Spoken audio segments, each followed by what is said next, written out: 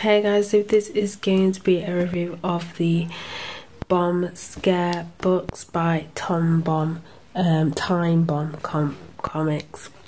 So these are basically anthologies, so they're a mix of like short stories and they're supposed to be horror based. So first off, you're probably wondering, are they scary? Not really. Um, I was kind of expecting more just because of the, covers and the back saying um, not for the nervous. Saying that they weren't scary, some of the stories were good, uh, especially in uh, book one. I didn't really enjoy the stories much in book two. Um, a lot of them were, a lot of it was more like monster based, which you can sort of understand just because obviously it's a short, you know, they're very short, like some of them are like three pages uh, long, you know, and trying to do like a horror element to it, it'd be uh, it'd be easier just to do monsters than so much like psychological sort of stuff. Even there's a few in there, but a lot of them are more monster based. Um, so as I said, the stories were right for me it was just it wasn't scary. I, I was expecting a lot more.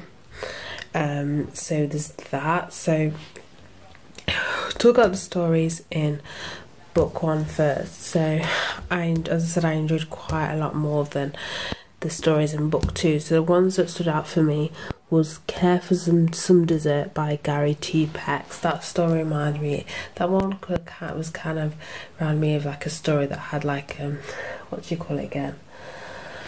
What do you call it again? Um, you could use it as a metaphor, or I was just overreacting, overreacting, overthinking it.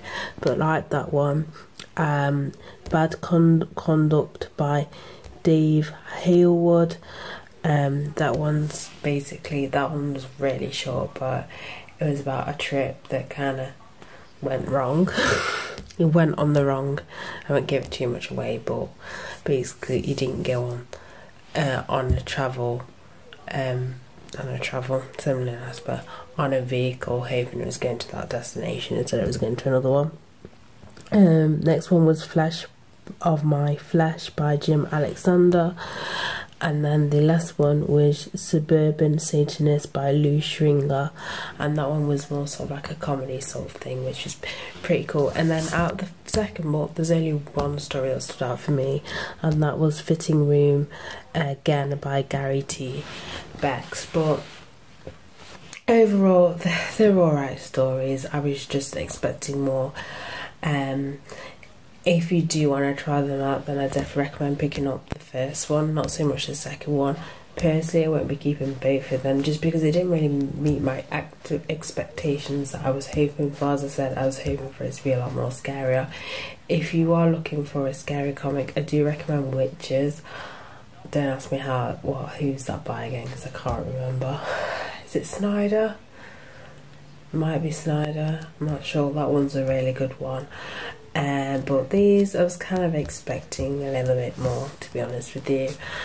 I don't want to say they were more aimed at young, mind you, I could say it was more aimed at young teens, maybe 13 year olds. I don't know, for me, I just didn't find them that scary. So that's it for this review. So, bye guys.